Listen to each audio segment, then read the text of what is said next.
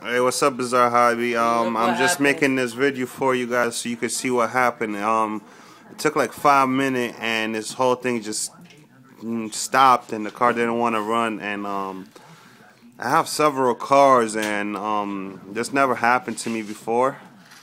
I mean, like I put I put so much stuff in my other cars, and this was the first, you know, 67 or 60 whatever dollars that died real quick. Um, you see that right there? I don't know what the heck happened in there. I even put a little bit of grease. That's what a hobby place told me. Um, so I did everything correct. Everything correct. Um, this is my Jato. It's my other HPI.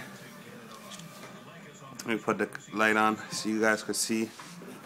This is Fortec, an Audi 1/8 scale, Kyosho HPI.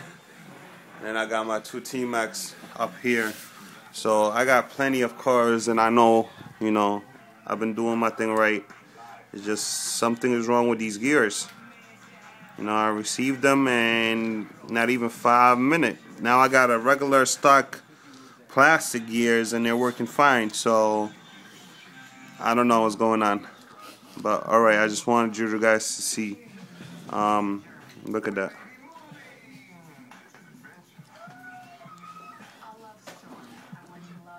So I hope you guys could help me out or please because I, I just don't want to lose 60 something dollars on some gears that I'm not going to use again.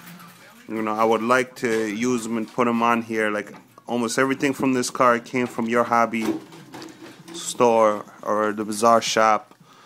And this is was just like a first upsetting thing that I got from you guys. You know, but you guys are still great, just to let you know, you know. Alright, thanks.